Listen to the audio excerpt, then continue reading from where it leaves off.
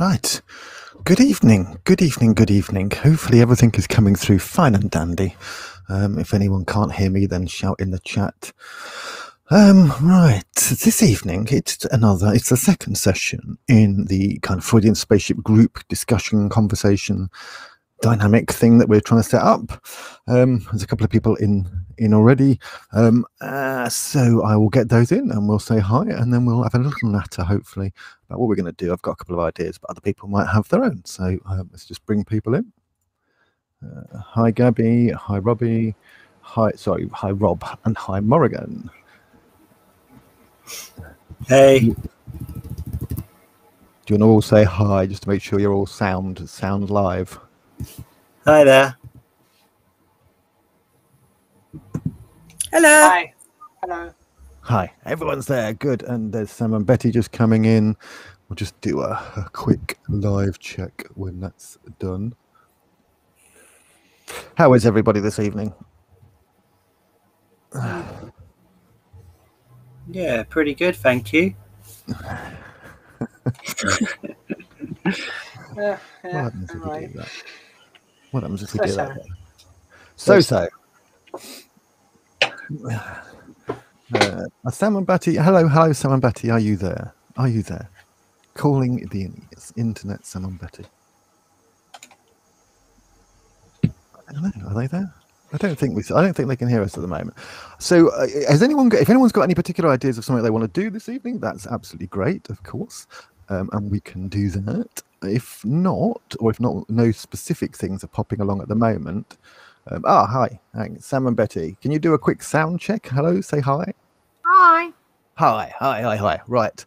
So, uh, just to everyone who's watching, if they if they are at some point, uh, this is our Freudian spaceship group conversation. Um, so, what I was just saying is, if anyone's got any particular ideas, if I think they want to do tonight, that's absolutely great. Otherwise, uh, we can we can have a have a you know we can look at that and do that. Um, but if not, I have uh, as as I said as I posted on River, I've got a little little bit of uh, William Burroughs that I thought might be interesting to look at, um, particularly this little tiny text. And the reason the reason I wanted to look at this tiny text is because it's William Burroughs, and I love William Burroughs, and he's always really useful and interesting. And the cut ups and things like this, I think, are a really useful kind of technique to think about, as is this do easy technique of William Burroughs. Um, but specifically for our kind of conversations, it connects towards the end of the of the short story um, there's a direct connection with a relationship to the Freudian id and to that kind of sense of the of of of of, of the drive overwhelming us being an, a kind of an opponent at one point or something we have to work with as a kind of counter um, an irrational element of our of ourselves or whatever we want to call the id. Um, so that's why i picked that particular essay because it kind of connects in with uh, uh, in with the Freud and might might enable us to have a bit of a conversation about the it and what we think the id is and desire, possibly. And also, there's interesting stuff in the Burroughs itself. Okay, we've got another person in. This is Sheila. who is Sheila? Say hello. Is that some? Who is Sheila?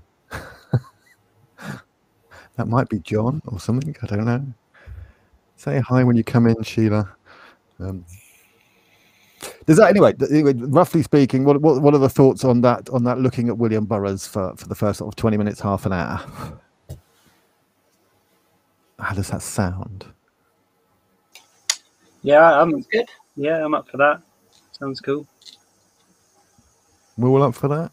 It'd probably be nice and relaxed because essentially what I thought I yeah, I might mean, do I- um, is go on, go, go, I go. am up for I am up for it. I and I um just you know that he killed his wife and he said women were an evolutionary error.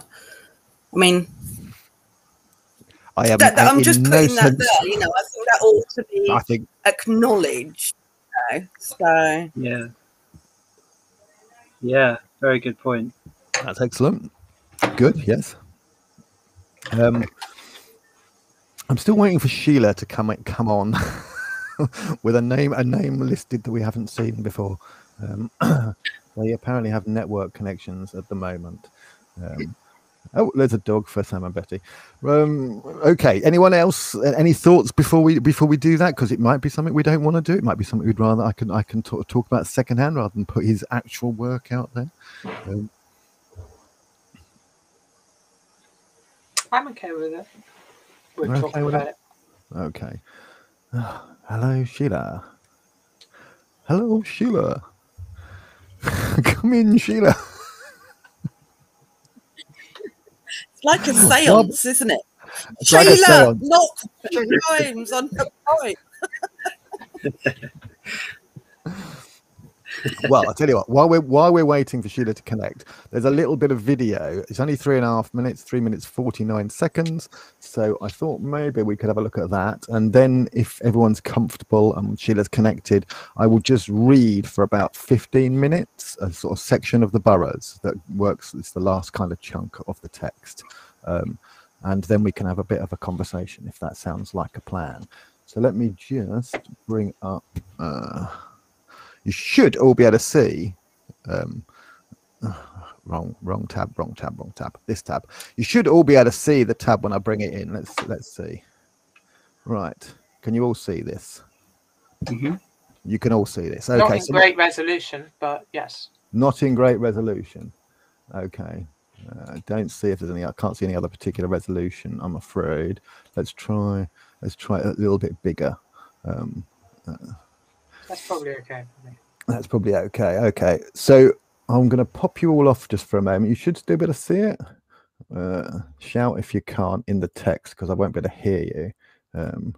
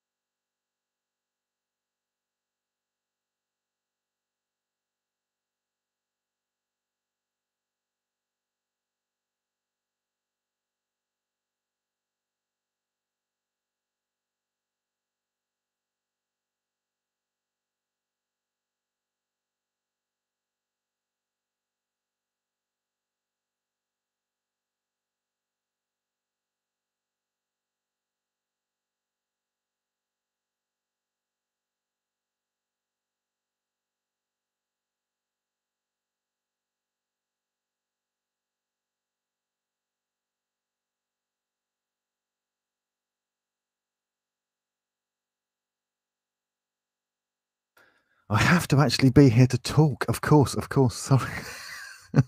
so what I was saying was, let me just do that again. Yeah, I forgot about this particular thing. What I was saying was just to do the sources um, of the material that we're looking at. This is the Exterminator. This is on the Open Library at the Internet Archive. You can just make an account there, and you can borrow the book for two weeks.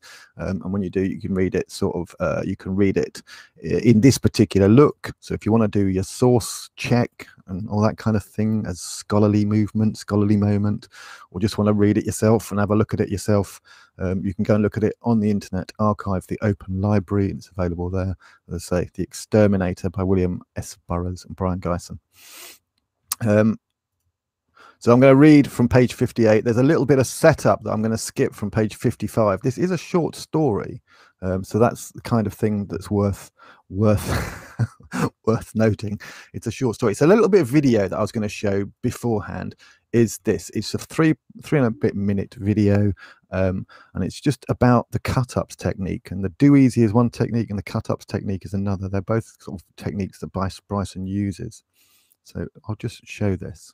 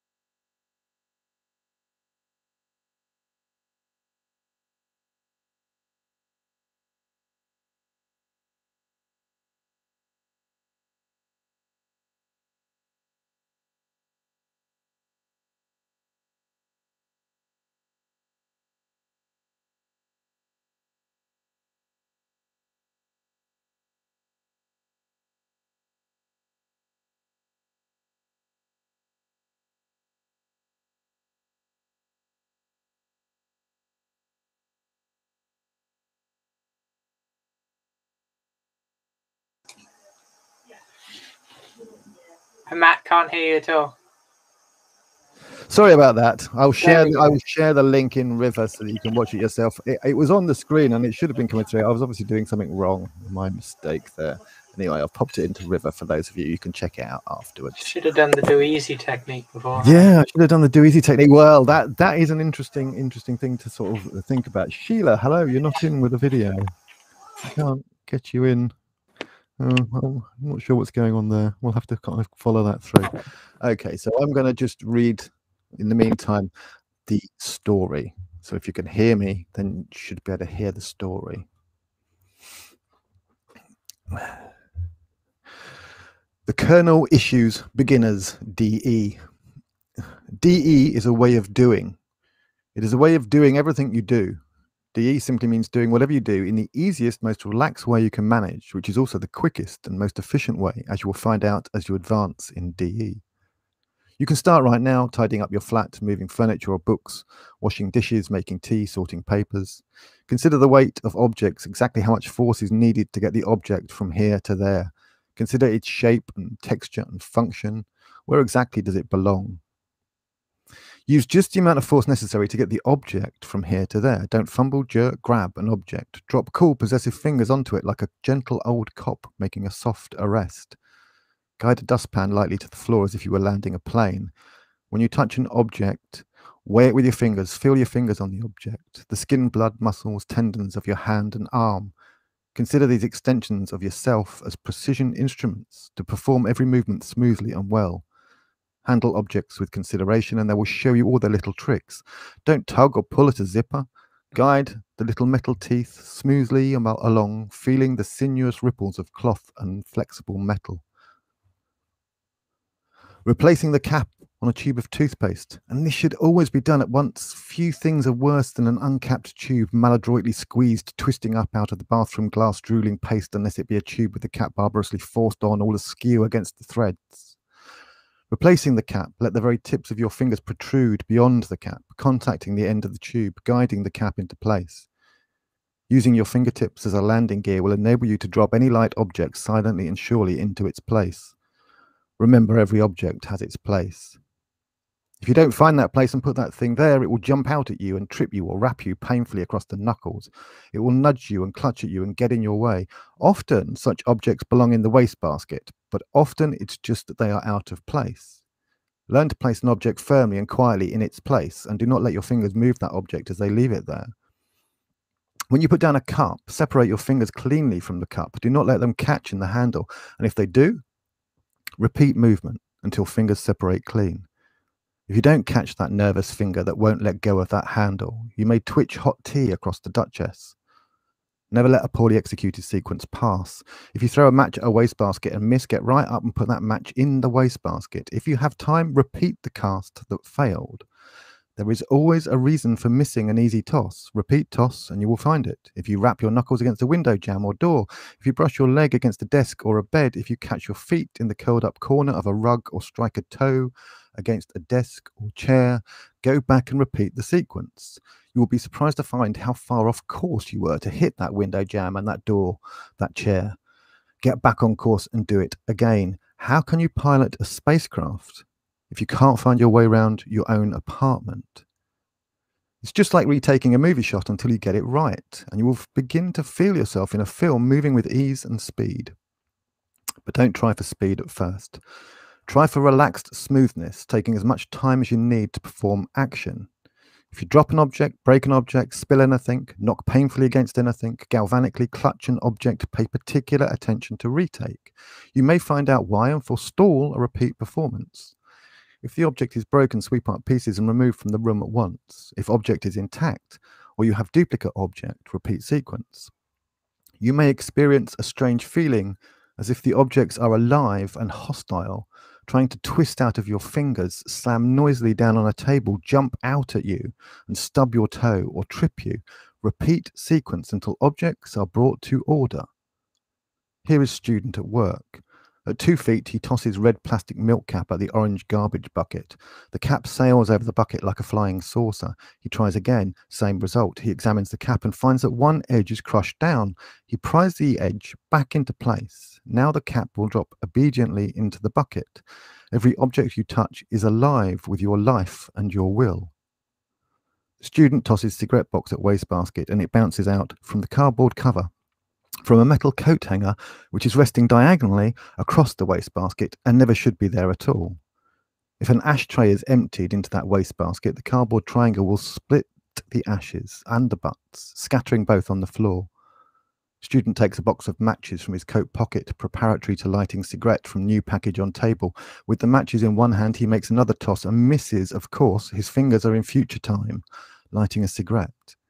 He retrieves package, puts the matches down, and now stopping slightly, legs bent, hop skip over the washstand and into the wastebasket. Miracle of the Zen master, who hits a target in the dark. These little miracles will occur more and more often as you advance in DE. The ball of paper tossed over a shoulder into the wastebasket. The blanket flipped and settled just in place that seems to fold itself under the brown satin fingers of an old Persian merchant. Objects move into place at your lightest touch. You slip into it like a film, moving with such ease you hardly know you are doing it. You come into the kitchen expecting to find a sink full of dirty dishes, and instead every dish is put away and the kitchen shines.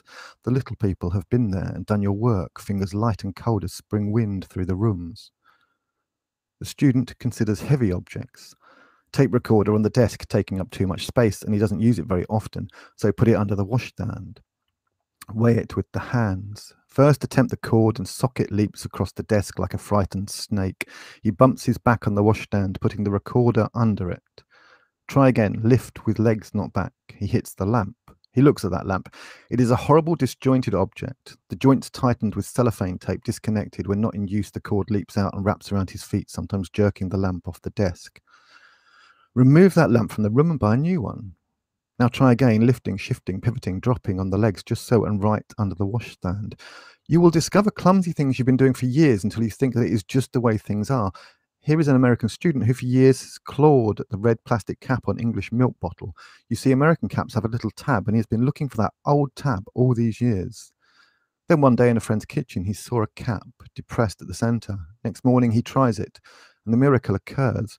Just the right pressure in the center, and he lifts the cap off with deft fingers and replaces it. He does this several times in wonder and in awe, and well, he might. Him, a college professor and very technical, two planarian worms learn quicker than that. For years, he has been putting on his socks after he puts on his pants. So he has to roll up pants and pants and socks, pants. So he has to roll up pants and pants and socks, get clawed in together. So why not put on the socks before the pants? He's learning the simple miracles, the miracle of the washstand glass. We all know the glass there on the rusty razor blade streaked with pink toothpaste, a decapitated tube writhing up out of it. Quick fingers go to work and the glass sparkles like the holy grail in morning sunlight. Now he does a wallet drill. For years he has carried his money in his left side pocket of his pants, reaching down to fish out the naked money, bumping his fingers against the sharp edge of notes, Often the notes were in two stacks, and pulling out the one would drop the other on the floor. The left side pocket of the pants is most difficult to pick, but worse things can happen than a picked pocket. One could dine out on that for a season. Two manicured fingers sliding into the well cut suit wafted into the waiting hand an engraved message from the Queen. Surely this is the easy way. Besides, no student of DE would have his pocket picked applying DE in the street, picking his route through slower walkers. Don't get stuck behind that baby carriage. Careful when you round a corner. Don't bump into somebody coming around the other way. He takes the wallet out in front of a mirror, removes notes, counts notes, replaces notes as rapidly as he can with no fumbling, catching note edges on wallet or other errors. That is a basic principle which must be repeated. When speed is crucial to the operation, you must find your speed, the fastest you can perform the operation without error. Don't try for speed at first. It will come. His fingers will rustle through the wallet, wallet with a touch light as dead leaves and crinkle discreetly the note that will bribe a South American customs official into overlooking a shrunk down head. The customs agent smiles a collector's smile, the smile of a connoisseur.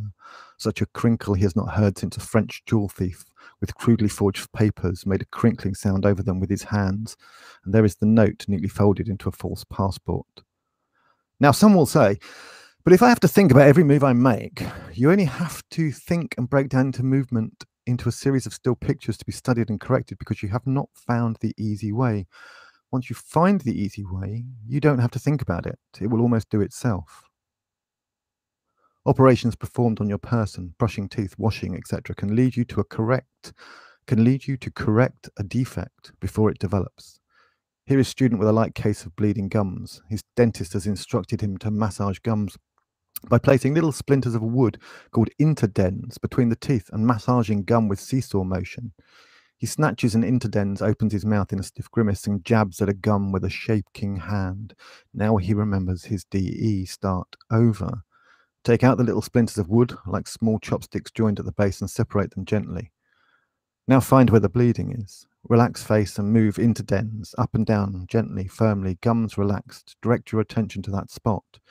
No, not getting better and better. Just let the attention of your whole body flow there and all the healing power of your body flow with it. A soapy hand on your lower back, feeling the muscles and vertebrae, can catch a dislocation right there and save you a visit to the osteopath. Illness and disability is largely a matter of neglect. You ignore something because it is painful and it becomes more uncomfortable through neglect, and you can neglect it further. Everyday tasks become painful and boring because you think of them as work, something solid and heavy to be fumbled and stumbled over.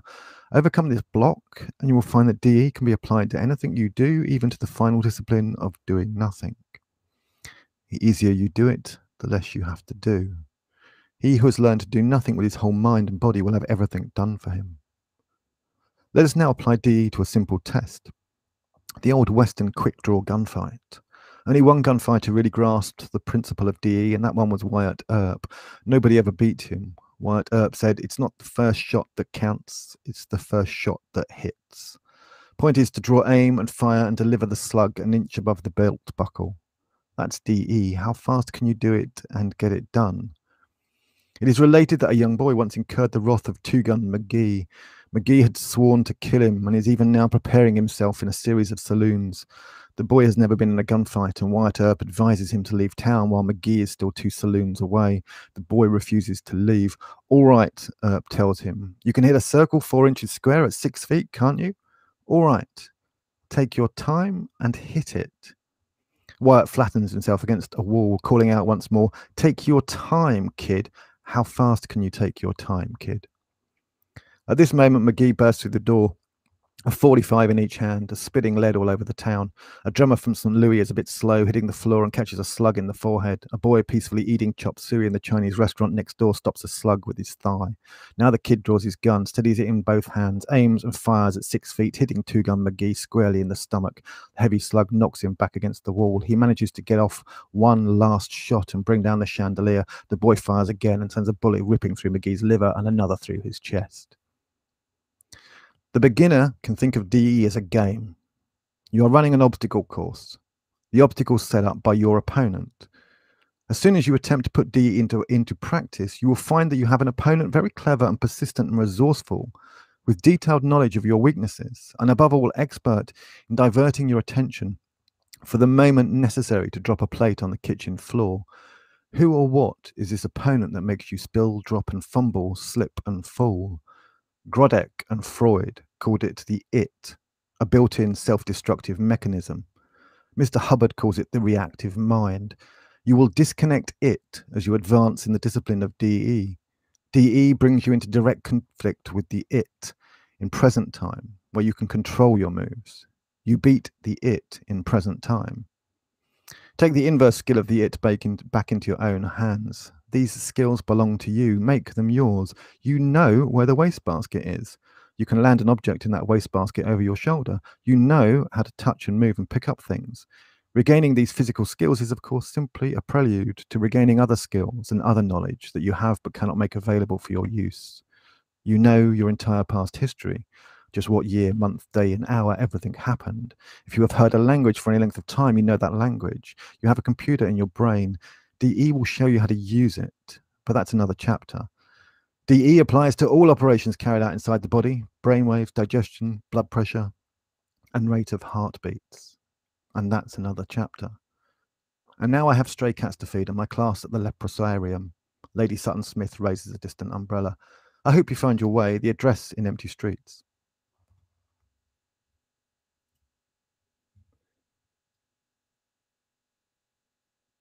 Okay, I hope you could hear that.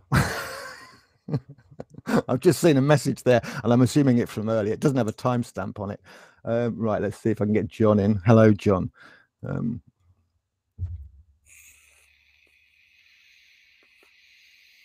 hello, John. John's coming in. So maybe that's, I mean, I don't know. I like this kind of, there's a very beautiful text, I think, here, and there's a kind of really strange relationship to language. It's very you know, there's lots of novelistic and poetic moments. It's very Burroughs and all that kind of stuff that we could maybe do literary criticism of. Um, but it was because of this kind of relationship to the it and this particular kind of way of, of, of dealing with it that I thought it might be interesting. There's obviously lots of other bits. Hello, John. Can you say hi? say hi so we can check this out.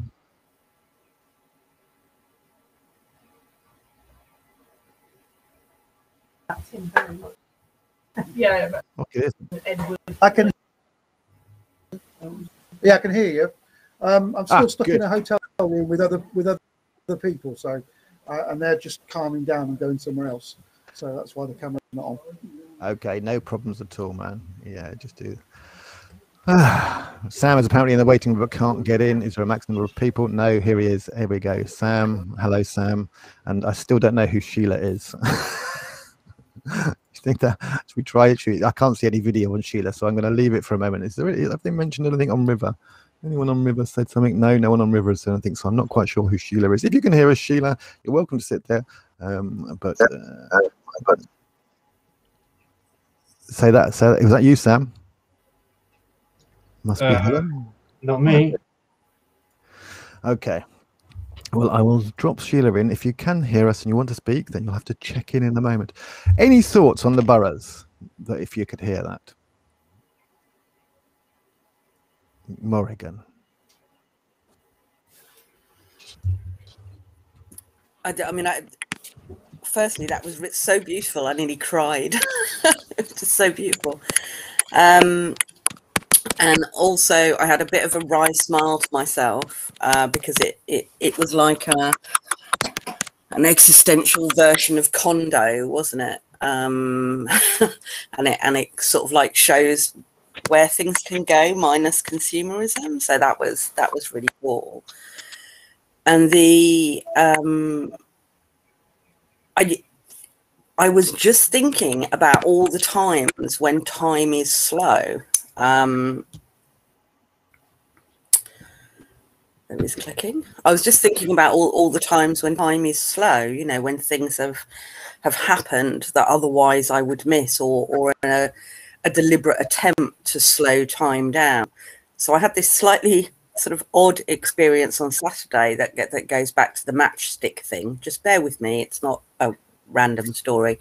I was lighting um, my father-in-law's cooker to uh, cook uh, using a match, and I needed to then get rid of the match because I don't like putting used matches in matchboxes. I like matchboxes to only have fresh matches in. And so I was handing the used match to my father in law, who has um, sensory issues, uh, particularly around grasping uh, with his hands.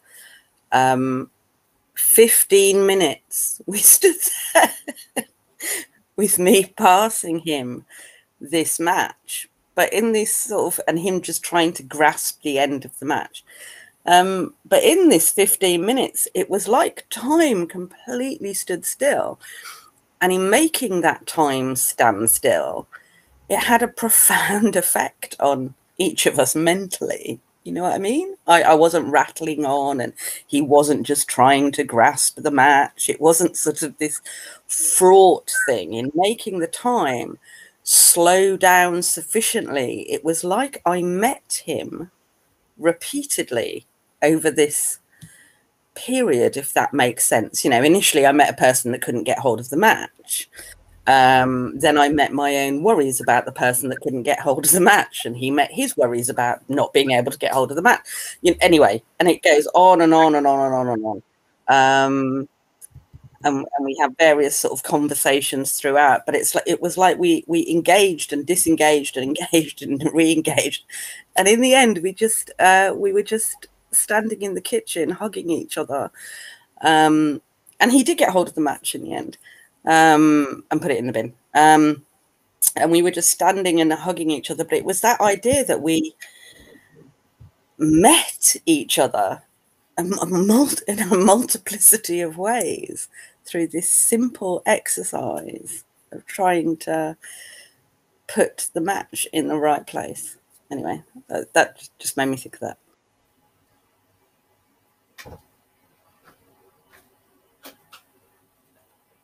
Anyone else have a have a comment? Same as last week. If you want to X in chat, then I'll definitely know that you want to say something. Otherwise, uh, you know, just jump in, jump in. Does it does it sound like a reasonable account of the id? let's let's be the philosophical element here. It's, if people are unsure what the id is, we can all recap on that. But but when we when we're dealing with the, I mean, this is a very curious way of dealing with the id. I mean, the the, the mistakes he's making, or he's talking about people making, Hmm. um, are equivalent to, in essence, Freudian slips.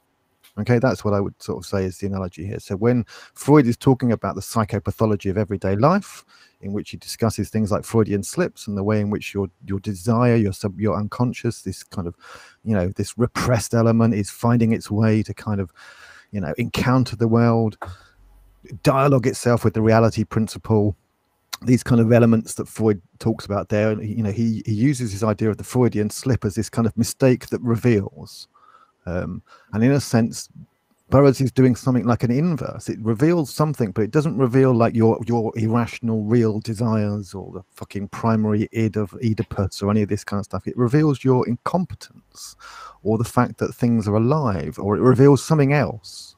Um, and and as he says there, that take the inverse skill of the it back into your own hands. You know, take this kind of mistake that you've made instead of feeling like somehow it's this irrational desire, this this Freudian Oedipal, you know, drive that's going through you, this enemy, this opponent. Take it back into your own hands, you know. Um, and there's something I think really interesting in that, um, and it's really interesting, and I think for me, because it connects to the conversation, the discussions I've had around automata and around roles and around groups. This kind of you know all those kind of moments that we kind of make a mistake we make a slip or we feel like we've made a, a slip or a mistake or one of those kind of things that are sort of similarly equivalent so that's kind of how i encounter the Burroughs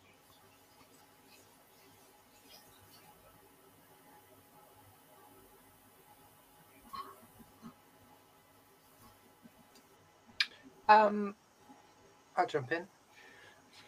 Uh, I like the piece. Uh, makes me want to try the exercises. I feel like I, I read it many years ago, maybe. I don't know. Um, maybe that's just the the naturalness of the idea in in terms the idea, the idea, like it because it feels like it's actually very common sense. Um, and it does seem to rhyme with, and it it mentions Zen pops up in the uh, it's at some point as a very common element to that, and you know it's it's it's, it's very close to Buddhist stuff. Um, um, I feel one thought that occurred to me was um,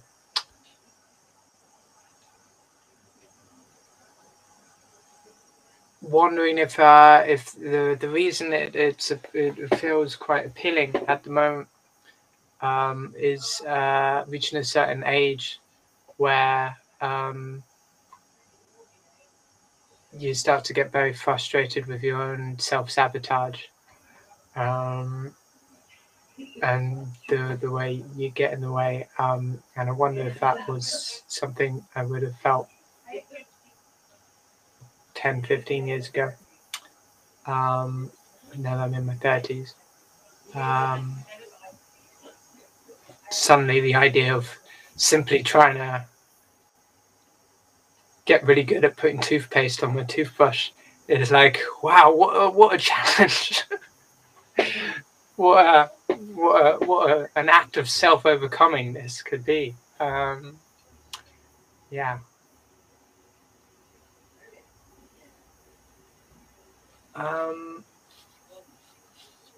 I think I had more theoretical thoughts, but uh, in response to you, Matt. But I'll, I'll maybe come back to that kind of formulated things in my head a bit more.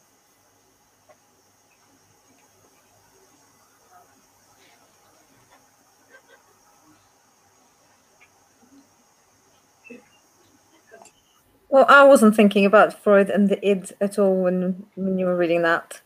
Um, so I'm gonna take the conversation somewhere completely different for a minute.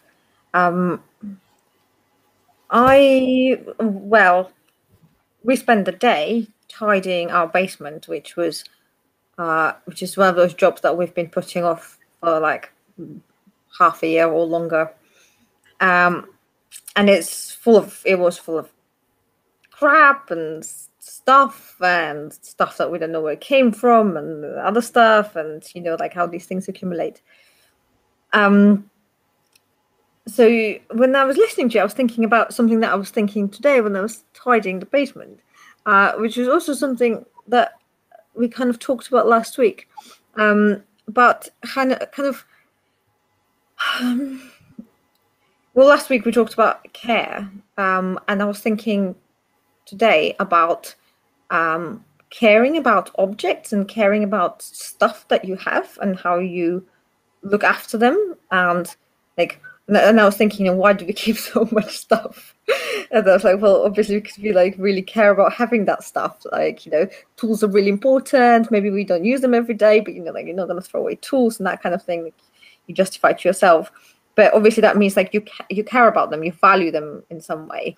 Uh, but then also how do you show these objects the care that that um that you care about them? You know like sam spent some time de-rusting things and then you know we we're wiping everything that was moldy or dusty and etc etc um so when you were reading about this i was thinking about um um or when you're reading boris i was thinking about this and i was thinking you know like in in in in the stuff that you're reading it was all about like taking care of like how you do things and almost like I was imagining a form of like mindfulness of doing things. Um like being mindful of how you put your cup of tea down and um and for me that's kind of a, a way of caring for objects or like for for spaces or for um for things that are around you. I know that's what I was thinking, but I'm trying to dig out the text now so I can see the it bit because I was obviously not paying attention to that bit.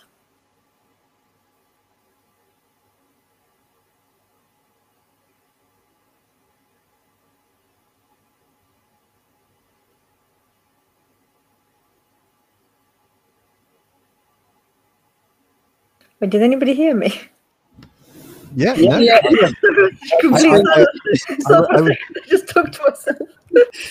I was allowing space this week. I thought I would allow space and see how how space felt when we were all together and, and we weren't doing rounds. Um, but yeah, so other people might have thought. Did, did, did, so meet yourself, self overcoming, mindfulness. These have all popped up. Um, I think they're all kind of interesting and useful things. There is actually Ginsberg. Uh, now let me see if I can share the screen for you because I should be able to. Um, let's pop that on the piece here from Ginsberg. Uh, oh, that's a bit. Uh, you probably won't be able to see this. Uh, if I can put it up. There we go. Um, let's make that a bit bigger. Uh, so yeah, this is this is sort of Allen Ginsberg project. This is a website you can go and look at. Ginsberg was a beat poet. He was a collaborator of Burroughs. In case you're not familiar with him, he's very interesting. He's uh, American poet from the 50s and 60s. Uh, most famous for writing a text called Howl, um, which, if you haven't read, it's really worth reading. Howl. Um, it's a very, very beautiful and interesting text. But did, but but he but he here it says uh, you know uh, about the Burroughs piece. Uh, another proclamation from William Burroughs. This is somewhat a mindfulness proclamation. And so he identifies this very clearly as mindfulness and talks later a little bit here, sort of a he- he- there's a character. So do easy is being is being it's, it's part of a it's part of a character called Colonel Sutton Smith. And this character reappears various times in Burroughs' work, and, and so the Do Easy text is actually sort of embedded in a kind of Kierkegaardian moment, if you like, where there's an author for that text that's not William Burroughs, just like, you know, in Fear and Trembling, it's Silentio, Johannes de Silentio. Um, and Kierkegaard writes in these pseudonyms, well, Burroughs does as well. So Do Easy is written under the pseudonym of Colonel Sutton Smith. Um, and but, but um, Ginsberg calls it um, a sort of a parody of an English ex-military Zen man. This you um, that's who he is. Uh, and what's interesting is that Burroughs, he says, outlines a kind of precision and mindfulness, very similar to say Zen gardening or flower arrangement or archery. Burroughs' own system, which with his usual humour he even parodies or he sets forth and then parodies, you, hear, you have here also Burroughs' accounting of returning to present consciousness and present space. So you could say this to begin with is a somewhat Vajrayana style parody of what he respects, which is total precision. Um, and so that's there's something that kind of relationship to Zen and accuracy or precision. There's there's a kind of a craftedness that Ginsberg wants to point to there, as well as as well as what we normally think of as mindfulness. Um, and it was interesting that you mentioned tools there, because um, obviously they're connected to a kind of crafting relationship to things, that kind of working with stuff. And there is in the text this beautiful sense of objects. And I think when he talks about the it, um, and when he's describing the relationship to objects, to bumping into objects or to, or to objects feeling alive and, and having this kind of will, I think he has um, a way of describing the flow that Freud talks about as desire as much less um, much less as it were originating inside the human being as a kind of counterpoint you know that kind of element in in in freud that goes all the way back to plato where we kind of have these two forces the black horse and the white horse um, whereas what what burroughs is doing is is shifting us out of that into a situation in which the opponent isn't really inside us. It's more to do with the flows that we're working with. Um, and these objects are part of these flows, these flows through and in and with these objects. And I think this is actually quite a fundamental shift. And it's very close to what schizoanalysis would call desire as opposed to what Freud would call desire. And it's very close to what I think a schizoanalytic notion of, of an it would be, as opposed to what a Freudian notion of an it is, remembering that the it is just a name, you know, the id is just a posh name for the it. Um, so I think there's there's kind of a kind of um, quite a radical paradigm difference in some ways inside this inside these kind of moments. Um, I'm going to switch my mic off and allow someone else to speak. X Sam. When you were reading out the text, it made me think of. I think about drive. Oh God, I've got an echo. Um, like a the the kind of muscle memory that you rely on for a lot of driving. I was thinking, you know, you know, what if you applied that very deliberate bringing to consciousness all of the reflexes involved in driving? It's really, really hard. But what I found then I moved on to thinking about was well, you kind of do have a really interesting relationship with you as conscious driver focusing on the road. You know, like when you do your theory test, you have to spot all the hazards and stuff and normally when you're driving the back of your brain kind of does that for you to an extent. But sometimes you need to concentrate in order to make sure that you're doing it. So it almost feels like when you're driving that you have this shifting relationship backwards and forwards between you know, the muscle memory you that you can rely on to not crash if you're listening to the radio or whatever you and the the conscious you that is able to kind of take control to a certain extent. Which feels a lot nicer than how I kind of feel about the ego, and superego, which does feel very conflictual.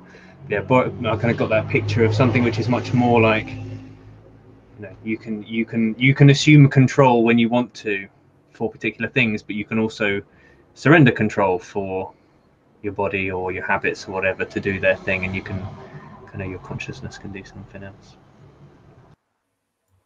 Morrigan.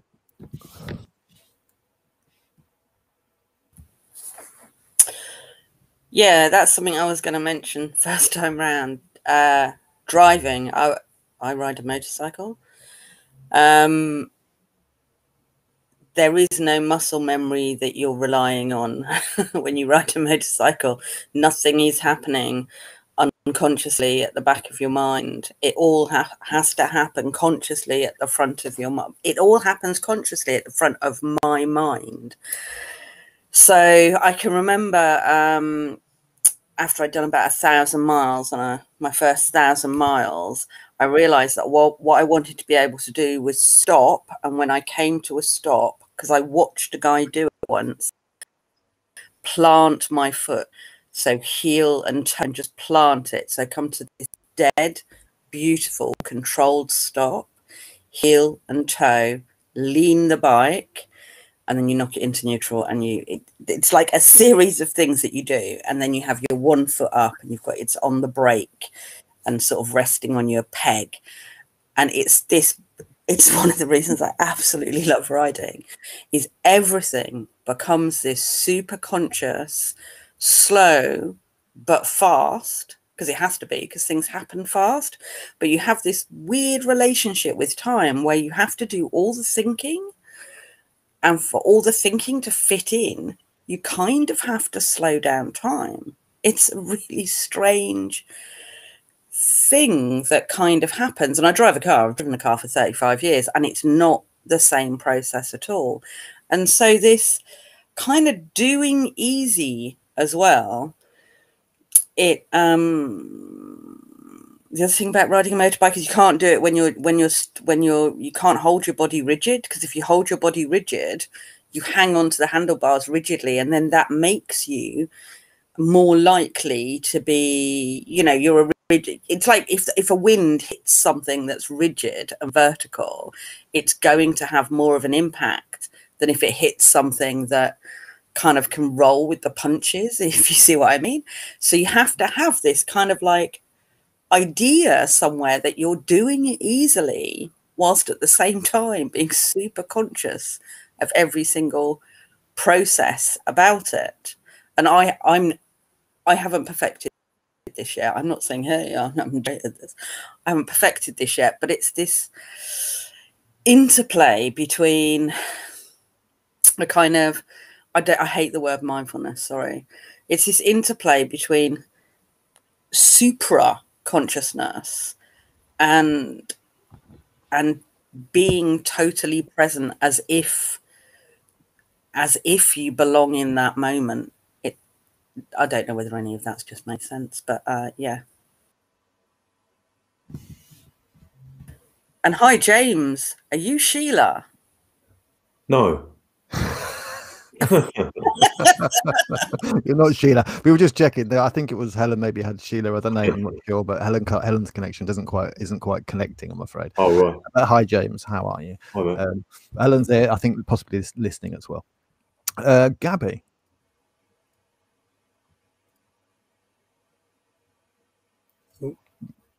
Muted. Sorry, uh, my fault there. Um, I've been thinking of the id, uh, or the drive, or whatever you want to call it. Um, the it uh, lately, um, like uh, one a few different metaphors. One of which is like the animal itself, um, kind of thing. But also, I kind of think of it like a like a hydraulic pump. Um, if you can imagine this kind of um, uh, tank of fluid and some kind of uh, pressure pump pushing it through so that it has to go through a whole system of pipes. Um, and I imagine that system of pipes being the self, uh, the brain, the network of neurons, whatever, having this uh, kind of energy, stimulation, libido, whatever you want to call it, jouissance, desire, chi. Um, it it is being pushed through the body, the body mind, um, and needs to find outlet, needs to find expression in whatever's there. Um, and I feel like uh, the work of a lifetime, really. Um, in most uh, kind of mystical traditions that I have some very cursory familiarity with, um, is uh, more or less kind of deepening, just increasing those connections with the brain, with yourself, with the body, and so on and so forth, such that that hydraulic pressure pushing that id fluid, that libido through you, um, can flow easily uh, through all the networks um, within your brain uh, that are the maps of what you need to do or how you how you do stuff. Um,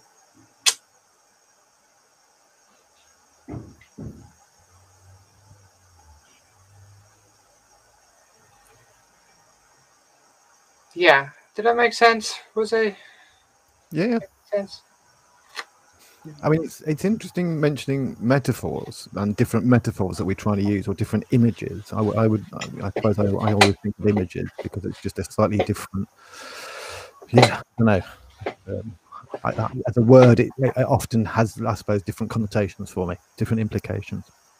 Um, but yeah, for I mean, Freud himself has these three different modes of thinking about his kind of system, doesn't he? In a sense, he has the economic mode, a, a topographical mode, and a dynamic mode. Supposedly, this is quite common when you're encountering introductory text to Freud. You'll find that the, you know the system is described in three different ways at different points.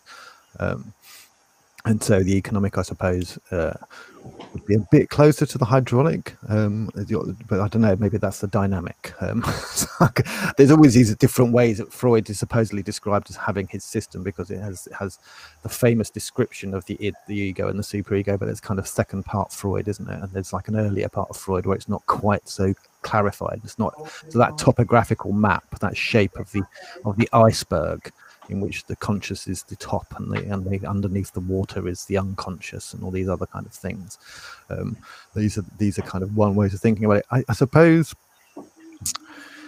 uh, I'm curious as to um, why. I mean, in a sense, why why why it seems both both like like simple and straightforward and like an obviousness, and why at the same time it also feels completely kind of irrelevant in a sense. It's like you could do it, but you'd only do it for a bit. You, like it's, Sorry, it's- what's it, well, it, this kind of do easy technique, it's a kind of straight. You, you can kind of see it. it I mean, that's, this I think is is partly there in Ginsberg talking about as parody. It's kind of like it's a really curious thing to try and do, but one of the things that's kind of obvious is that you would never do it all the time, even if you tried. And so there's something about that kind of moment of trying this technique and using this technique and the, its intermittency that is kind of it's it's it's it, there's something curious about this because it doesn't feel like I mean yeah, the, the colonel maybe wants everyone to be like you know and to get into that kind of mystical moment I suppose of do easy all the time flowing perfectly whereas I suppose I just think I'm always going to be doing this for a little bit and then falling back into something else and then maybe maybe returning to this technique or something along those kind of lines Rob Uh, yeah, I've, I've got a bunch of thoughts, but I'll try, I'll try and like be succinct. But um, part of it, part of me, like I enjoyed the text, and there's like actually I've been practicing Zen for quite a few years, and there is like some resonance with that stuff. But there's also like another side of it, which is like it sounds a bit like Jordan Peterson saying "tidy your room," and like oh god oh god that's fucking terrible isn't it yeah exactly right so there's a kind of obvious there's that, yeah, there's that thing of like, um, actually, that is quite good advice, but for like for the wrong reasons. I think. I think. Um, and what else was I going to say? Oh yeah, there's another thing I picked up on which was quite interesting. The Hubbard. I know um, Burroughs got into Scientology quite early on, and I know he left. He had like a big fallout with with uh, Hubbard, uh, like a public fallout.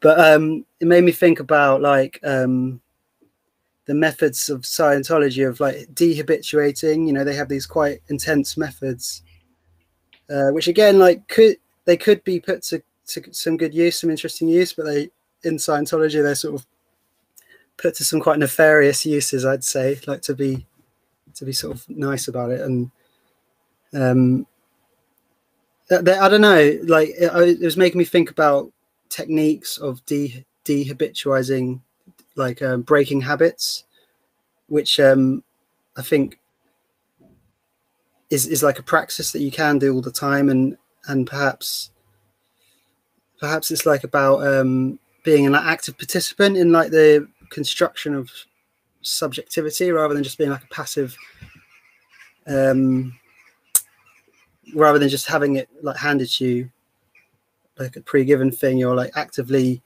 constructing something. But then i think the thing he leaves out is like the collective aspect of that and it's all about one person and their waste paper basket or whatever instead of a you know like some sort of doing it in a group or some sort of collective um, construction of subjectivity i don't know if that, any any of that makes sense no, that's great. That's lovely. That's a lovely comment. I mean, I, that's when in the when in, when me and Eric are talking, and and obviously Eric can speak for himself, but when when I'm talking with Eric, one of the when we talk about our sort of ideas of of, of using these three different modes of thinking about like um, the world, subjectivity, and relationship to it.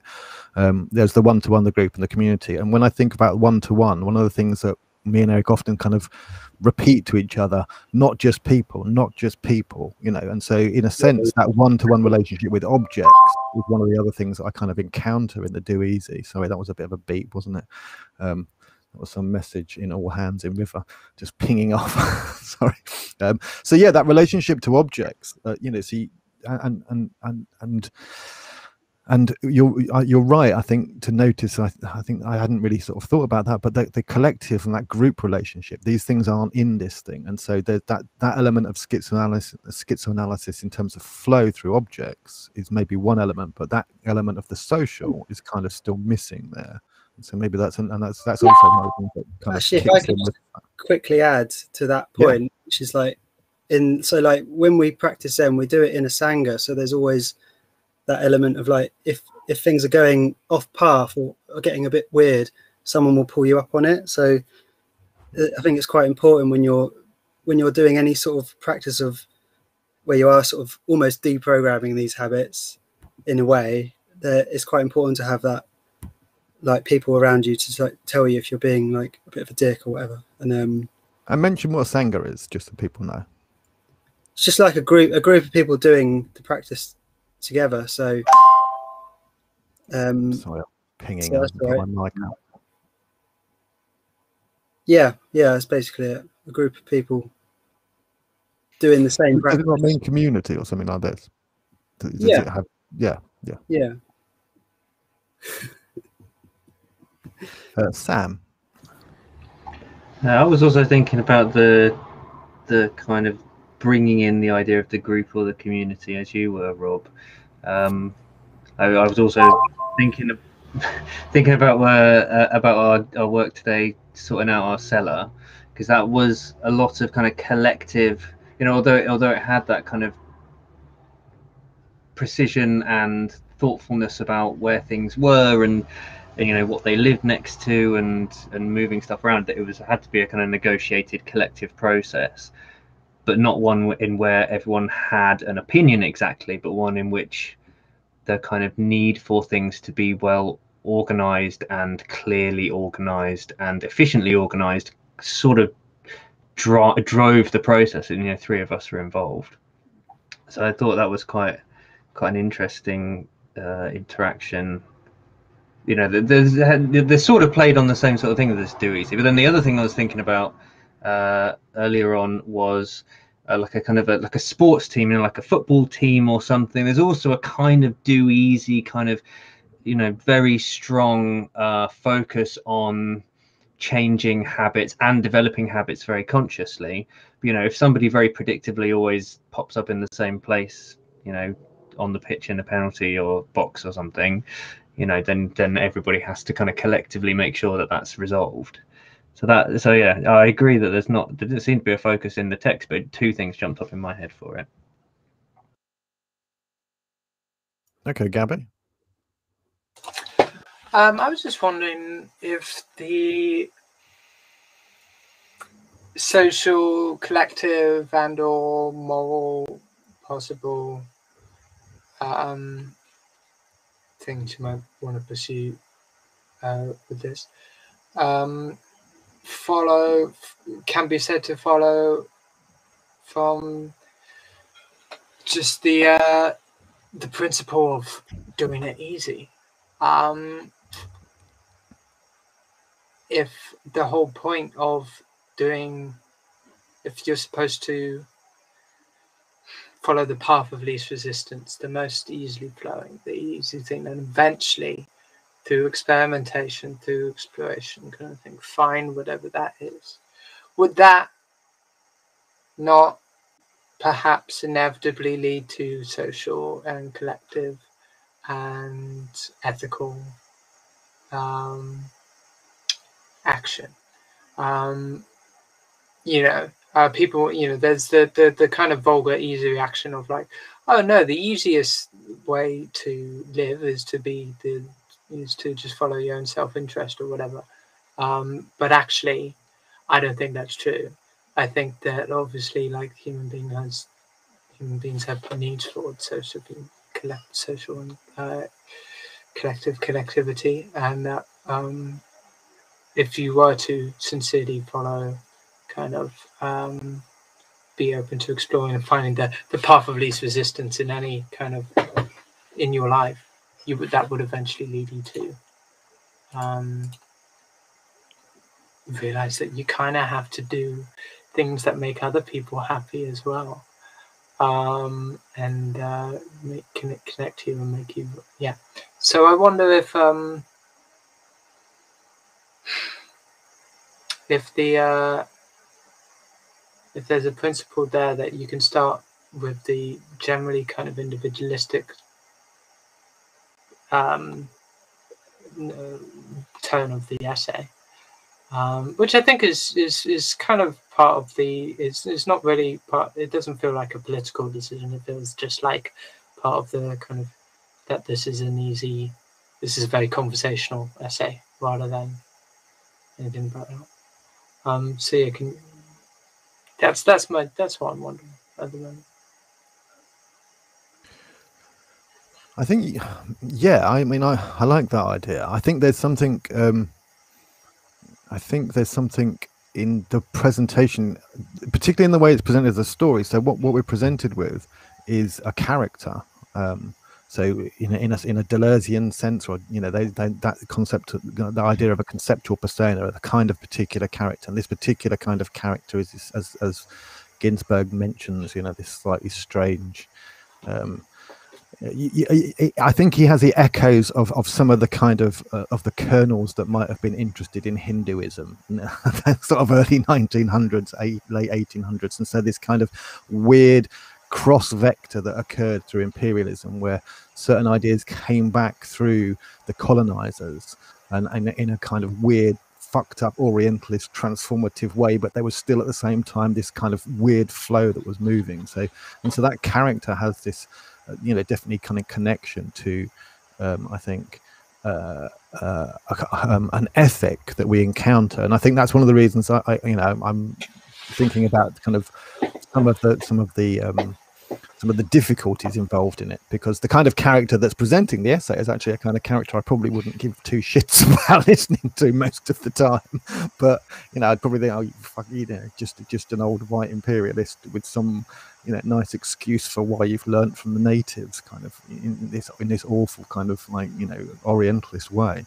Um, but at the same time, there, I think you're right. I think there's there's a way of thinking, perhaps a connection between something like the least the, the of least resistance something like the nature of the flow the you know the way in which the flow kind of can we use i mean this is this is where you get the philosophical moment. Can we think of a, of a way in which the flow should work?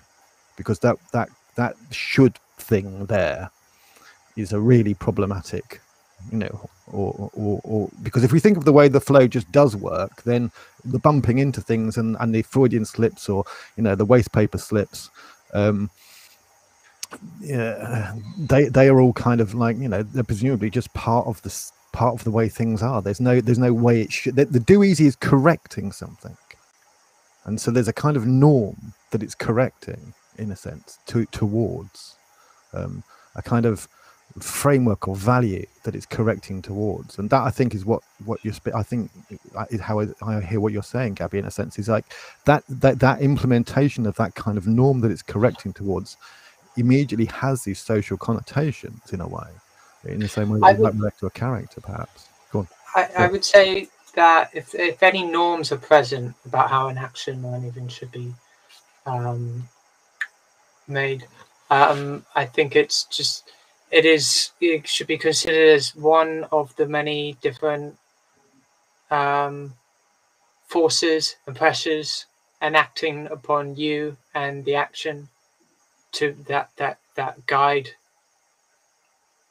your actions that that that are one of the many different pressures and that you are trying to find the equilibrium there between kind of thing and that's how norms are. sorry morgan you wanted to talk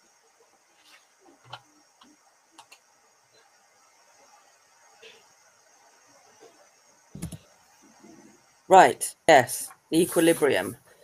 Uh, the equilibrium. I don't think. I don't think is is individualistic. The equilibrium is, uh, you know, it might be that bin, that coat hanger, that match, that you know, all all of those things that we're also in concert with. So, you know, Betty mentioned the tools. You know, it the tool is only a tool at the point that someone uses it as a tool. Um, also, Betty, I think you might have my hammer. Uh, but yeah, because otherwise, it's it's just uh, it, it it's just uh, a, a, a, a a- an object. It, I mean, particularly something like a hammer, a claw hammer, or something like that. It looks beautiful, but it, it it's not a hammer until it's hammering. If you see what I mean, it's not a claw until it it's used like a claw. Yeah. So uh, for me, the piece, but I don't know an awful lot about kind of Deleuzean schizoanalysis. For me, the piece is like the equilibrium is between uh, the person and and everything that is also the person that doesn't immediately seem to be the person if that makes sense. No not making sense. I can tell from people's faces. Um the bin the coat hanger the missing the bin the flicking the cigarette packet the um like all of that is the person but not the person. It can't be the person. The person can't be the cigarette packet and the person can they? Yeah. Um and it's more than a relationship. It's more than they had that packet now they don't have that packet and the packet is now trash. It's more than that. It it speaks to the idea that somehow these are intrinsically part of an whole and that as yet the other parts of this whole haven't been identified and the kind of I don't know, maybe doing it easy helps to identify the other things, whatever, without them being objects, the other things that are also part of the whole. Um, I sound like a hippie. Uh, okay. Uh, I'm just gonna uh, uh, uh, um, move to Rob. Uh, I thought it was really well put, actually, and I, I take your point. That is not. I think uh, both about other things interacting. It's not just an individual thing. But I also wanted to say, like, um, uh, I think, like, what he's bringing up is this idea of like trying to have um, this free flow, and that's kind of like what Zen's about as well. Of like just having this free flow, and um, but I feel like the obs the the obstacles to the free flow are perhaps like the in in a sort of for me like the Deleuze Guattari thing of like how because the desire the that desire or id or whatever has been like um has been like repressed. So it's like a it's something to do with like society or the socius or whatever so so there's this so for me like zen is also like this political thing as well because it's like um like liberating trying to like liberate these like desires this id it is like um is is also related to breaking down these like social norms that we we've all sort of um taken on. I don't know if that makes any sense. I'm sounding We're all sounding like bloody hippies. Yeah, I right. know. You sound like a hippie now, yeah, for sure. We all sound like hippies. What's sounding? What does what does sounding like a hippie? What what does that mean? Do you think? I I think it's a wo- like people say it to sort of cast something off, don't they? Like often it's like I say it myself sometimes, but like um, you know, it's like to to to sort of uh to sort of I don't know. I, I, I, Helen's saying free flow. Yeah, I'm not in any free flow at the moment. That's for sure. Well, I think that's okay. I think that's one of the things about trying to do this in public and and actually encounter these kind of moments where we are like uh, you know collapsing. There's a there's a fantastic uh, video that I was really influenced by. Um, or influenced by, really affected by it years and years ago. Um, that was online on YouTube about 15 years ago. I saw this, maybe maybe yeah, 10, 15 years, and it was Ray Brassier talking about Deleuze and Heidegger and the Death Drive, and it was this long paper that Ray Brassier, who's this like person who was involved in like you know lots of the the Warwick stuff, um, the Warwick philosophy movement. Um, uh, it was this it was this long paper that Ray Brassier was giving. Um, and the, the thing that affected me and, and made me kind of like had an effect on me was that it went on for about an hour and a half, but it actually just collapsed at the end. It just kind of ra- it just kind of ran out um, and sort of, and it was the first time I'd ever seen a paper that literally just it was like plainly he'd written and not finished, and and was like flowing in this free flow, and it was a really lovely philosophical flow that was all constructed and had all these lovely moments of like exegesis and you know philosophical expertise and all this kind of you know craftsmanship in it except the most interesting part of it when he was talking about because he was talking about the death drive was this kind of collapse towards the end where it just sort of dissipated out. And i think that's um that's sometimes a kind of key moment in trying to do philosophy is that you, you, you get on this kind of moment that, that runs through something and then it kind of dissipates out. And it's i think important not to worry about those moments and to enjoy those moments because they can be also the, the moments of embarrassment and like feeling stupid and humiliation and all these other kind of other, other things that our ego tells us we're not meant to do in public. Um, she uh, so hmm, let me just recap. Meet yourself. We meet yourself with objects. There's a kind of self overcoming that we mentioned um, and obviously the relationship to mindfulness. We've mentioned um, kind of we sorry was someone there? We mentioned a muscle memory versus a conscious you a muscle muscle memory you versus a conscious you and a and a supra conscious a supra consciousness in a kind of interplay with the being present. Are we are we using metaphors here that have these kind of two moments? There seems to be a lot of these two moments like in conflict in tension around this. Um, various different metaphors for the it animal self hydraulic pump uh, the, the phrase id fluid that was that was that came up. Um, and then we talked a bit about breaking habits dehabituating the active passive moments of subjectivity and then kind of missing collective or whether the collective is there the easy possible transition using the easy as a possible transition from the, the, the kind of individual to the collective generating social actions. I suppose uh, i'm i'm i mean there's there's there's there's an obvious like thing to come back to some of the original intentions around sort of uh, the group. There's an obvious thing here and this is pushing it back to freud as well about the objects being words in the case of this, this short story, in the case of the way the character is framed, in the case of the way that philosophy is kind of presented and discussed and, and encountered. Um, I mean, our words are, I mean, in a sense, our words just equivalent to other objects, but there seems to be something particular about those particular word, those particular kinds of objects. So this, this speaks to Lacan's importance in a sense because he notices this, but it also speaks to a kind of issue that that thing I mentioned last week about the idea of exiting language. You exit language in a sense, you make words just the same as any other objects. You know, the same as the waste basket, waste basket bin. Is a Freudian slip the same as missing the waste basket? You know, are they are they are they basically the same, or do we think there's some is there a difference there that makes any fucking difference? Here's here's here's uh, the question that arises in Burroughs. Um, who or what is this opponent that makes you spill, drop, and fumble, slip, and fall?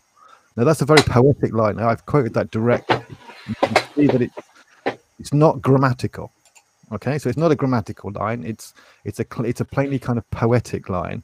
Who or what is this opponent that makes you spill, drop, and fumble, slip, and fall? There's a lovely rhythm to it. it you know, that but the slip is there. So even, I mean, I, I don't feel like I'm pushing too hard to sort of think about this in relationship to the Freudian slip. You know, definitely, I think it's there, and this is this is in the paragraph where he's talking directly about Freud. Uh, Gabby. Um, I don't think that it's equivalent to Freudian slip. Um, the missing the waste basket. Um, because I think there's a difference between technical um, inability uh, and um, and uh, unintentional intentional uh, missing, which is kind of what uh, the idea of a Freudian slip is. Um, so uh, with, uh, and I suspect this is comes down to the kind of perhaps the difference between neu- neuroticism and psych- psychosis um, within Freudian or Lacanian thinking, but that's a whole kettle of fish. Um,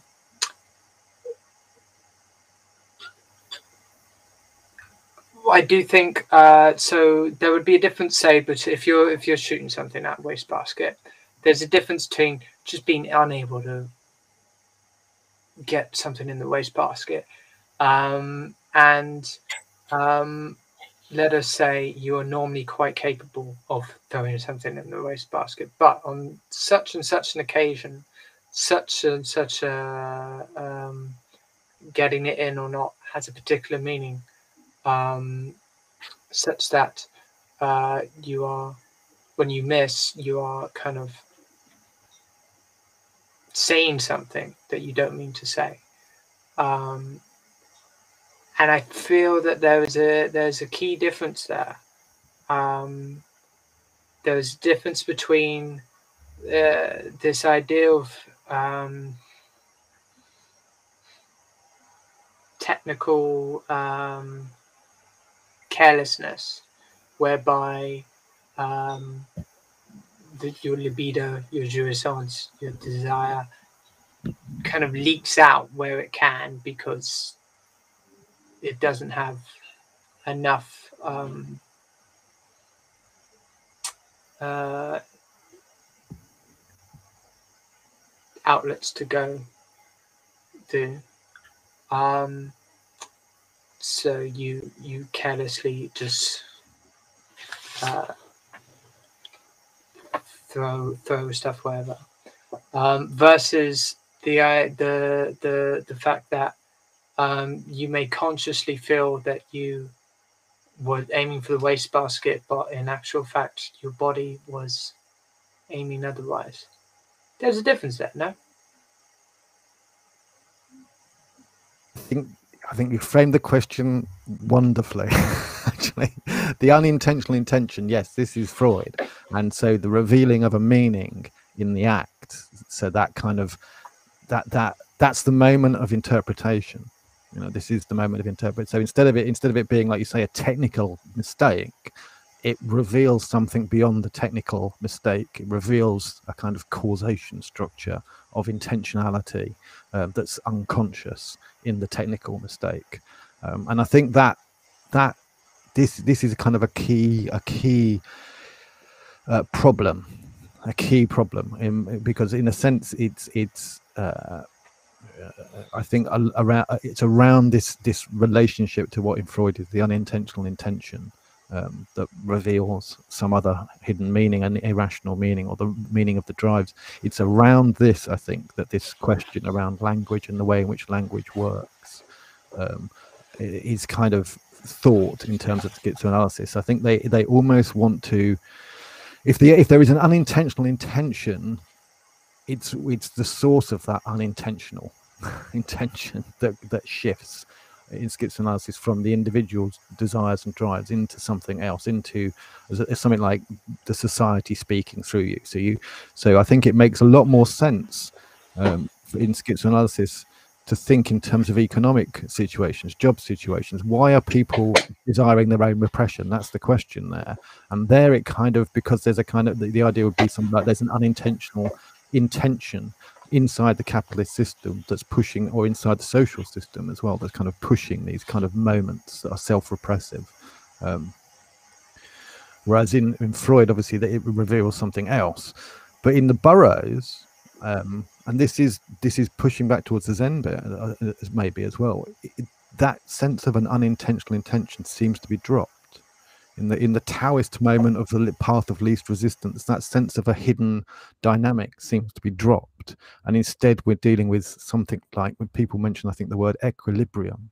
Um, or something along those kind of lines. And so these, I think, are quite interestingly different ways, and they get kind of all jumbled up and intertwined. I think in our encounters with with politics and psychology.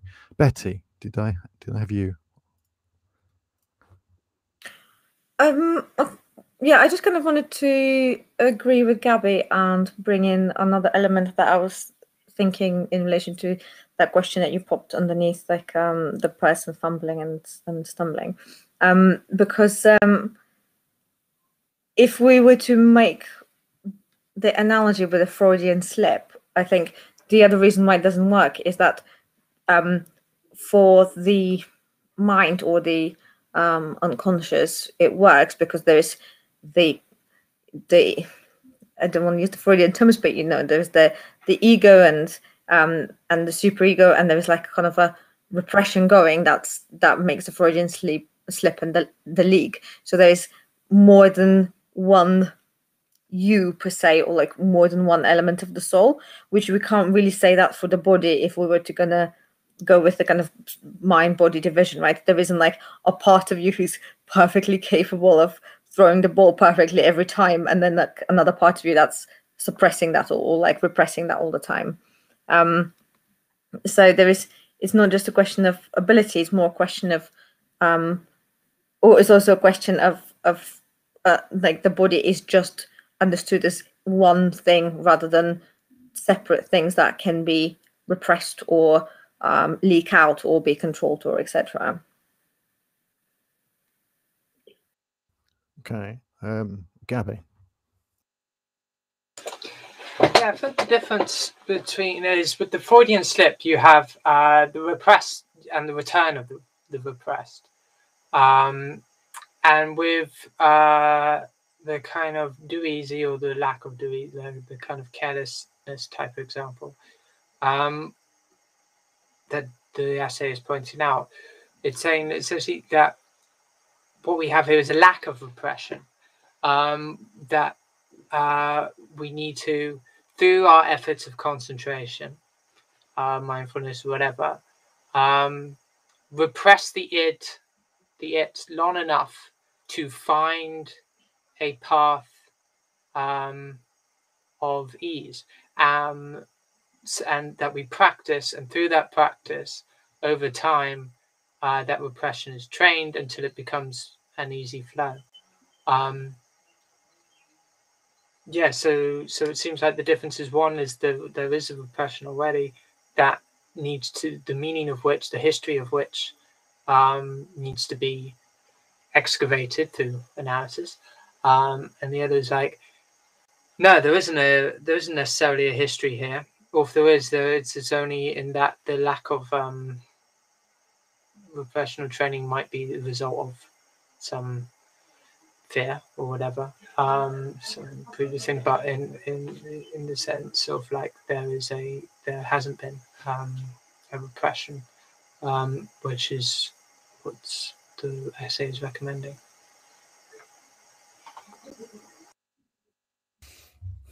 That's a really nice, interesting contrast, actually. Um, so uh, that that sounds quite workable, I suppose. Uh, I want to come back to this this kind of come back to this question and think in that situation. Um, if, if we were to take that, we would give we'd be able to give two different answers so in the freudian situation who is this opponent who or what is this opponent it's it's it's the repressed and the returning repressed. That is, as it were the opponent. Um, whereas in the other situation where you're talking about and i think interestingly this idea of using repression rep- repressing some kind of failed flow or getting i mean is that would we call that training perhaps? Because um, we were thinking at one point of maybe it being dehabituation but maybe it's a maybe it's a form of training. Maybe training is a kind of you know repression. I suppose i often so i suppose in that situation my answer to who or what is this opponent would be almost in a sense the body itself. And so there's a kind of you know the, the kind of i mean there's that very odd odd sense of of the cybernetic in the middle of that essay where he talks about this you know captain of the spacecraft um, and that obviously has just as long and problematic histories in, in a kind of dualism in a sense so that would speak against it but that that opponent would seem to be the body. Um, hmm, rob?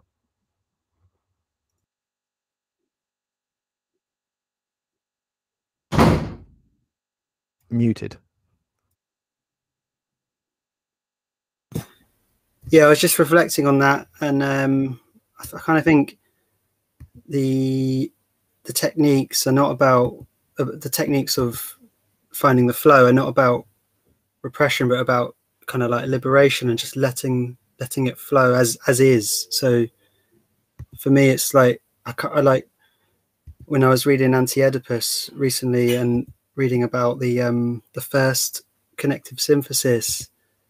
Um, I was thinking that is like what meditation is. It's just being in that first synthesis without there's no name there's no me there's no this there's no that. It's just like a pure flow of connection. So that that's kind of like what i what how i think about it. Morrigan. Yeah i mean I, I think i might have misunderstood some of this. I think i might have really misunderstood some of this. And it was interesting when uh, Betty brought up this kind of like uh, mind body separation that is uh, I I'm not at all. I don't, I don't think there is a separation, um, and so the idea that something is uh, for me a kind of like a technical thing that happens. Sorry, I'm probably paraphrasing you really badly here, Gabby, but this kind of like this this kind of physical as being separate from um, mental. I don't I don't know how else to put it.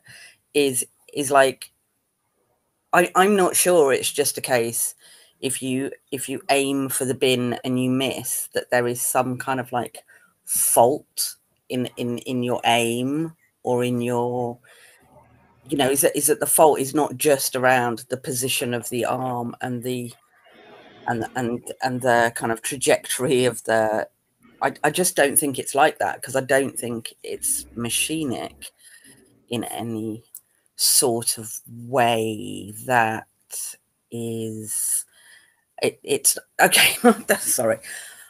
Okay so uh steering when you're trying to steer something you can't see the the wheels that you're trying to steer in a car for example you can't see the wheels that you're trying to steer and yet somehow you still know what direction those wheels are going in in relation to the steering wheel yeah but the steering wheel isn't the wheel yeah? and you're actually making this really strange movement that's this movement rather than that movement in a car and and the kind of the way that these things are connected is obviously technical. It's you know it's an engineered bit of a machine. It's obviously technical. But somehow there's some part of your my brain that sees past these sort of constructed ways of sorry this stuff that's popping up in front of me means i can't really concentrate. I've lost the thread of my concentration. Never mind You can come back to that. The seeing through is a, is a kind of technique in phenomenology. It's one of the things that Heidegger goes on and on about, and you see a lot in phenomenology. This kind of notion. I mean, there, there was a famous sort of thing about you can't see the eyes that you're looking through, and all this kind of stuff. And you can't, you know, you don't see your glasses on the end of your nose if you wear glasses. And practices are often that kind of process in which we see through something that's a techniques or a framing or a kind of and so maybe there's maybe there's an encounter with with the kind of that kind of techniques that we encounter in the do easy that's different from the fr- i mean this is maybe i'm going to push back a bit and go there's there is some similarity with the freudian slip so maybe there's a kind of techniques of, of how things operate in the do easy that's kind of analogous to when we encounter the freudian slip encountering a kind of framework of how things operate. And obviously they operate quite differently and they can be said to be operating quite differently but it's this revealing moment um, they show something. Um, now i think that's i think that's very classically kind of phenomenological in a sense this sort of idea that something is revealed by its failure or by its breaking down. Um, it's a very that's the heideggerian notion of how you encounter tools. Uh, uh, you know you, you encounter the tool in the, in the point at which it breaks down otherwise you're just using the damn thing and you're kind of working with it. Um, so tool being is encountered through breaking down and uh, so to go back to who who or what is this opponent that makes you spill, drop, and fumble, slip, and fall.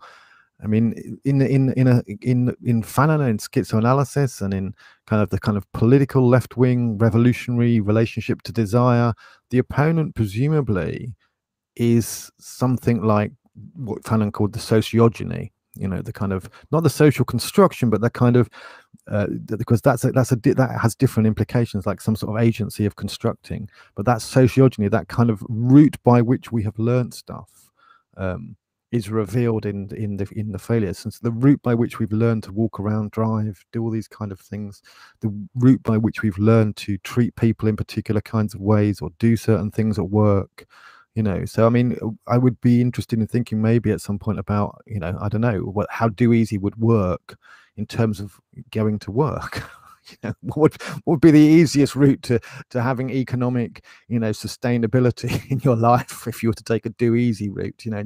So would it would it be to you know like instead of the waste paper basket miss you know it would would this be you know um the kind of moment of what what Freud, what Deleuze called Bartleby you know that kind of that that looks like a kind of moment in which you would say to your boss well, I'd rather not you know? Not, not you're not going to say no and you're not going to say yes you say I'd rather not and you just don't do it and you know? And workers often do this in work you know? One of the things that managers complain about is their inability to get workers to to you know do things properly. Because to be honest they just go eh, you know you can't really make me very easily and I'll just slide by here and you know eh, maybe I'll do it maybe I won't. If you're going to hassle me okay I'll do it you know. Um, so maybe there's some maybe the do easy in relationship to work would be a kind of different way of framing it or thinking about it in terms of instead of having this this this imperialist Colonel, you know, telling us about a kind of meditating structure.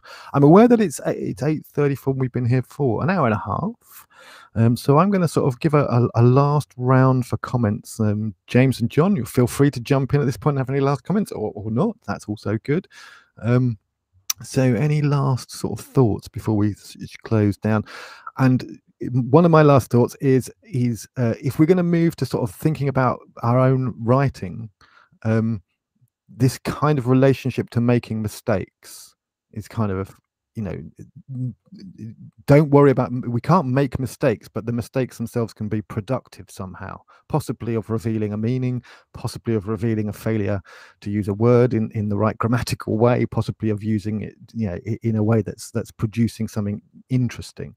Um, so uh, that that's kind of my thought here is some of this does relate to the idea of writing. It's, it's like what what you think of as your mistake or what you think of as your failure when you're trying to write a sentence or write a phrase or something you know perhaps these these can affect how you might think about that. But anyway a last round of possible comments.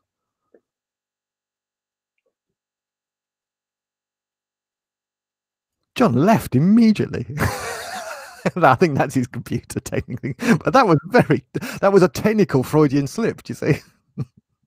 no. I'm pushing this analogy, but I can see that it fails quite reasonably, and people have made good points about where it fails. It doesn't work.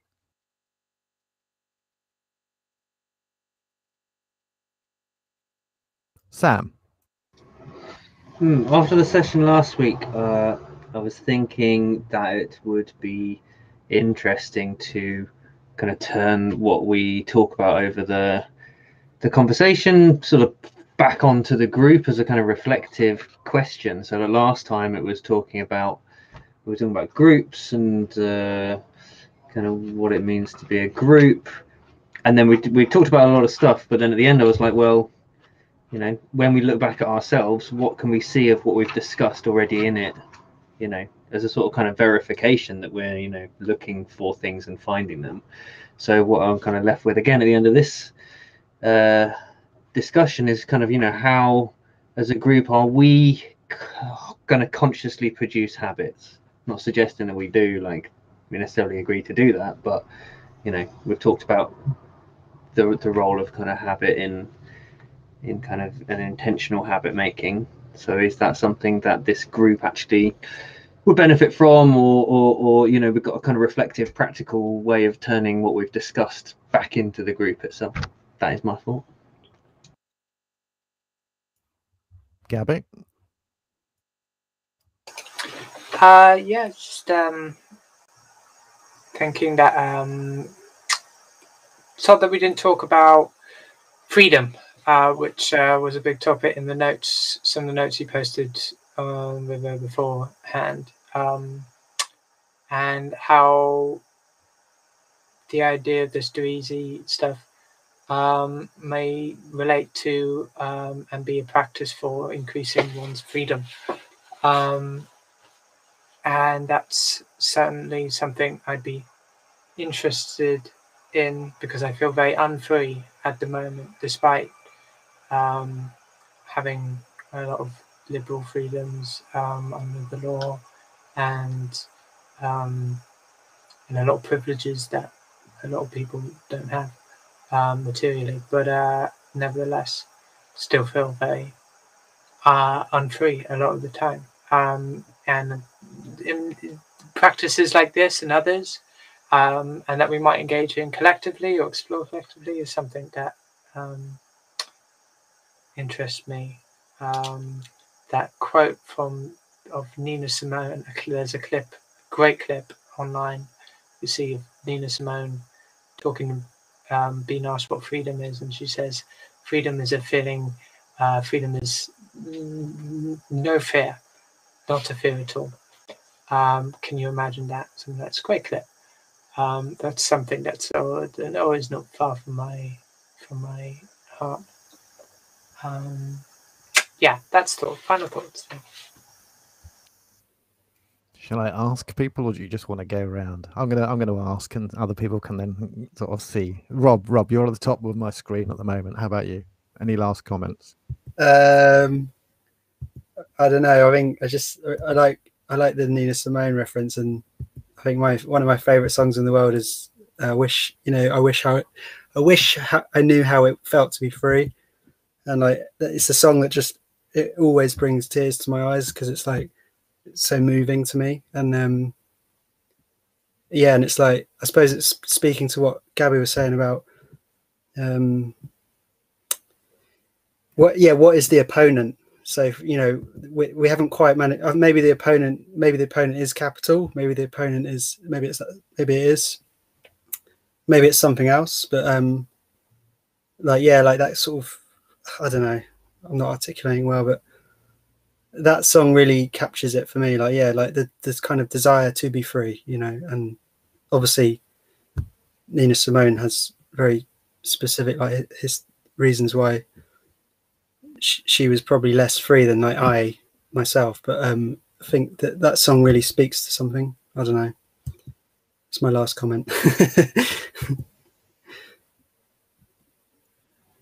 Okay, I'm not gonna hassle. I'm not gonna ask anyone else, uh, but I am gonna sort of go like, okay, last comments. If you, John, go on. Gentle encouragement there, John. Yeah, probably my computer keeps going going. It's either Absolutely. getting very annoyed with the conversation, switching itself off, or it's something else. but um, what I like about it is I, I'm not sure if it was talked about with the bits I was off, but Burroughs started this because he killed his wife, didn't he, in, in uh, with a gun um, in a game of Russian roulette or something like that. And my journey into philosophy started where, when I was in the military, I had um, an exercise. Well, I didn't know it was an exercise. I was I thought it was for real, and I had a weapon with a gun and a dog, and I had two people come on to my area, so I treated them as though if they were real. And I know now that I could physically kill somebody because if that person had moved, I would have shot him. And that upset my psyche quite a lot. I had to leave the Air Force because I just couldn't get over the the fact that I could actually physically, I know I could physically kill somebody. Um, and I didn't want to have that sort of responsibility. So when Burroughs talks about going, that that's what's happening in the back of my head was I was just doing as I was trained, um, and I could have taken somebody's life, and that's quite a scary thought. And so I, I'm now thinking internally how that that process happens and things like that. So that's what I was interested in most about about it, and I would like to learn more because he obviously had that conversation with himself as well. Yeah, that goes back to something Morgan said earlier about meeting yourself in these relationships to objects. Um, okay, Right. So, I, as you may or may not know, on River, um, if you have been there, I, we've popped up a little shared text. People can obviously pop up other ones. I would suggest that we start doing something along those kind of lines, popping up little bits of text. And next week, I will think of something to, to read or for us to look at or to think about. But it would be great if other people had something to read um, in particular. Now, showing videos may or may not work. I'll have to test that out at some other point and let people know whether I can share videos, whether it's just a glitch. Um, so obviously we can do YouTube things as well because um, people do do that. There's a whole there's a whole genre of people watching fucking YouTube in groups and things where you can watch something as well. Um, but yeah, so have a think about that because that would be good. Um, one last call. Any final comments uh, before we wander off? No, you're all good. You're all good. That's great. Okay. Thank you very, very much, everyone, for coming along. I really enjoyed that conversation. Um, and it made me sort of think a bit. And I'm going to uh, make some more notes on stuff in those shared docs. Um, I will try and sort of put up not a recap of, of what we've done tonight, but some notes that I've, I've made if you saw me sort of doing this kind of thing during the thing, it was trying to make some notes that I could put them up into the shared document a little bit. Um, obviously, that's going to be. Uh, oh look, there's Harley. obviously, that's going to be uh, my particular take on things. So yeah, that might also spur you to sort of think about things differently. And I think I, am kind of inclined to think that it might be useful for us to, to sort of have in mind that question of the relationship to freedom. That seemed to come up at the end a few times, and people were resonating with that. So maybe we should if anyone's got anything they want to say about the habits, freedom, and the kind of relationship that we've been talking about to that, that might be an interesting thing for us to work on next week as we go forwards. All right, thanks very much, everybody. Lovely to see you. I'm going to. I've been I've been riding back from from Bournemouth today earlier, and and and then doing work in the kitchen. So, it and this is after a weekend of care work in a, in a, in a, in a very strange festival, which I'll I'll tell you all about at some point, but probably not online because it was a very strange place, very interesting place, and nothing you know nothing no problem. But God, it was a kind of weird weird weird weekend. Um, so uh, I, I will maybe natter to you all about that at some other points. But thank you very much, and uh, I'll catch you next week. As I say, think about you know um, possible things you want to read or, or, show or think about or put forward, um, whether that be your own or someone else's. At the moment, it's obviously in some way it's easier for us to grab someone else's just as we're pushing forward, but obviously we're moving to do it from ourselves. Just reminding us all of that. Um, okay, lovely to see you, everybody. I'm going to say goodbye and chuck you all out. Night. Thanks, Scott. See ya. Thank you.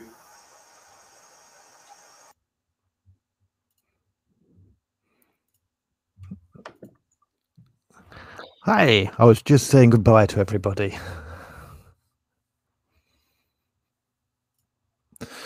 Okay, thank you very much, everybody. Um, that's the end of the stream. As I said, we were thinking tonight about Burroughs' essay, Do Easy. Um, I mentioned at the start where you can get that. You can get it on the Open Library if you want to have a read about it in, in a text called Exterminator.